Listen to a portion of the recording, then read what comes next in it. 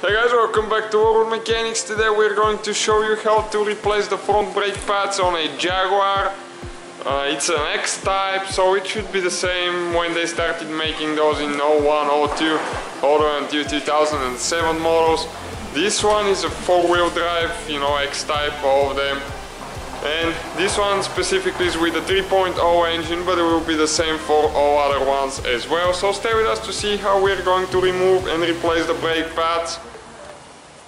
Alright guys, this been sitting outside the shop for the last day and it's been raining so it's just a surface rust but everything comes off and you always need to inspect your uh, your rotors and we recommend to go ahead and turn them, cut them so they're nice and smooth when you put new brake pads. We'll be putting brake pads from a parts car, just a temporary deal until we get a few things fixed on that thing and next month we put brand new brake pads. So in order to do that now, you need to take the tire off first and then if you get a big screwdriver and you stick it right there you can pry the caliper a little bit and move out of the way as you can see like that. So you can compress the piston inside of it. You can see how much slack we have now. Because when you install new brake pads they will be way bigger than the old ones. And you won't be able to put the caliper back on the rotor. And now you're going to need a 13 millimeter socket. And on the back right there there is uh, there is two bolts that we'll need to remove that hold the caliper that bracket right here and all you need to do is just remove these two but always guys always inspect your discs okay see the other one is on the bottom right there if you cannot compress the caliper for some reason you can borrow a tool from a part store but you should be able to do with the screwdriver. Okay, just go ahead and remove and always inspect your your rotors for cracks, for wear. Always we recommend to turn them. Those are pretty good actually. They look bad because they're rusty now, but they're pretty smooth, pretty nice. They're not shiny. If they're too shiny, you need to do it again. And now we need to remove the brake caliper out of there. And that's the brake pad now, right here. Okay, if you grab the brake pad like that, okay, as you can see it comes out of there. And the other one as well on the other side. Sometimes they're a little stuck. Okay, you can see it's moving.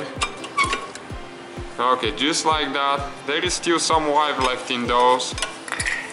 Okay, and you always need to make sure you always inspect right here. You need to clean and apply a little bit of brake grease as well. And if your wheel is stuck pretty bad, here they tend to form rust, so you need to clean right here as well. That's where the wheel contacts the hub.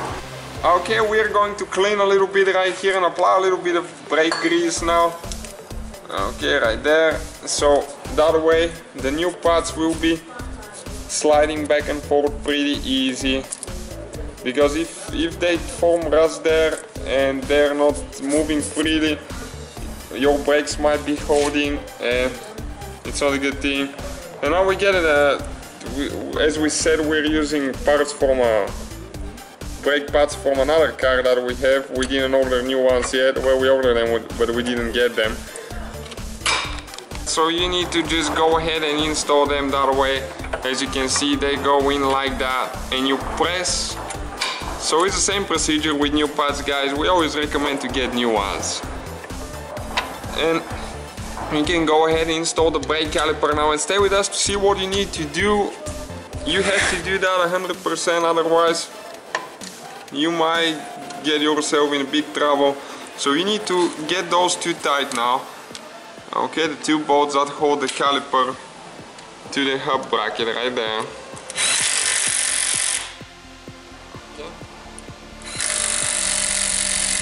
And now you need to you need to go inside the vehicle and as you can see how much play we have right here now uh, what you need to do you need to go and hit the brakes pump the brakes a few times until you have no play here. Because if you don't do that when you start the car and you put it in drive you won't have brakes for a few times. Okay you can see how it's compressing now. You need to go all the way until it's contacting. Okay? Okay like that. You need to make sure that it's holding. So that's the whole procedure guys, thank you for watching, don't forget to subscribe and give us a like, we have a new video on our channel every day.